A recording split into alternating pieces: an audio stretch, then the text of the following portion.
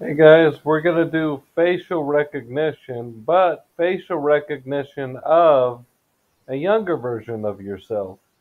So before we start, you need two pictures of yourself currently or recently. One, it can be 20, 30, 10 years ago in my case, actually 12. Uh, and another person, just to compare. Okay, import these necessary libraries after you do pip install face recognition. Remember, if you're using Google Colab, you don't need your virtual environment installed. image equals face recognition, load your first image. Face locations equals the face locations of the image.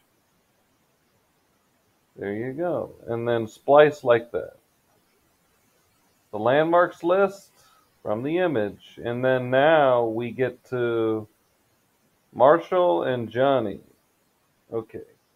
You repeat these steps for the same guy.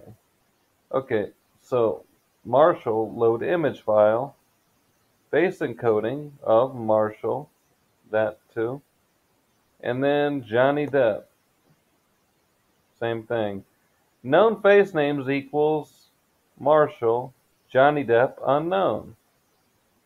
Unknown image, you do the same process. Now, here's where we get to face encodings. I'm going to show you two ways to do this. Okay, there's face encodings equals Marshall and face locations. Okay. Both had the same result.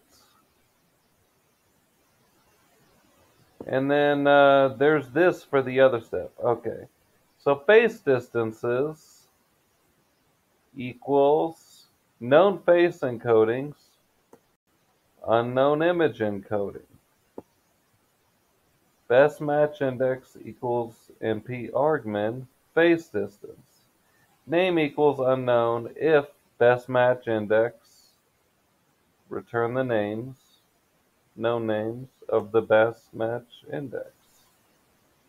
Okay, so PIL image from before,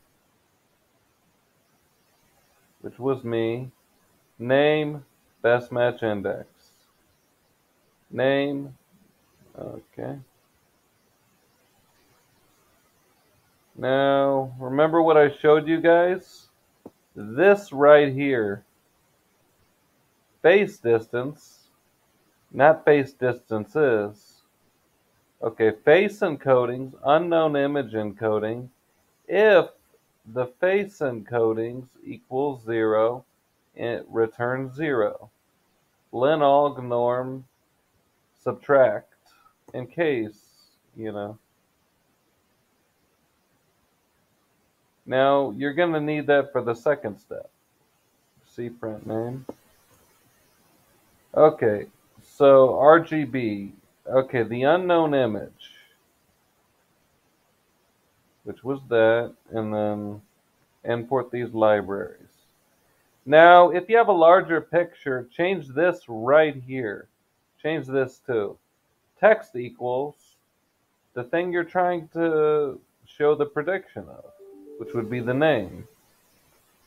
We could do batch match index, but it'll just show the distance, which is zero.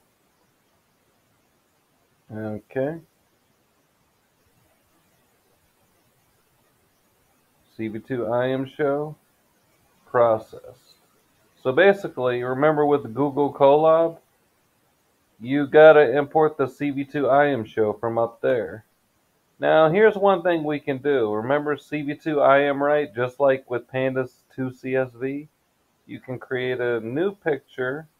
Just like with Pandas, you can create a new data frame. Now let's look at new.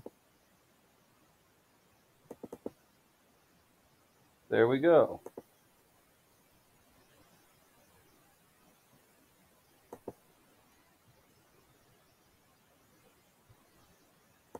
Okay, I hope you guys enjoyed this video. Be sure to hit like and subscribe. Next time, I think we're going to deploy in the cloud with SageMaker. I've kind of neglected that.